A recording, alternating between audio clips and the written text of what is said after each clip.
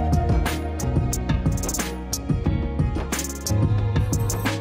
Big pass மூலியமா பிரபலமான பிரதீப் ஆண்டனிக்கு இன்னைக்கு கல்யாணம் நடந்து முடிஞ்சிருக்கு. பிக் பாஸ் தமிழ் சீசன் செவன்ல கண்டஸ்டண்டா போய் மக்கள் மனசுல இடம் பிடிச்சவர் தான் பிரதீப் ஆண்டனி. பிரதீப் ஆண்டனி பிக் பாஸ் செவன்ல கண்டஸ்டண்டா வர்றதுக்கு முன்னாடி வாழ் அருவி மாதிரியான படங்கள்ல நடிச்சிருக்காரு. மேலும் சீசன் த்ரீல கவினை கன்னத்தில் அரைஞ்சது மூலியமா மக்கள் மத்தியில ரொம்பவே பிரபலமானாருன்றதும் குறிப்பிடத்தக்கது.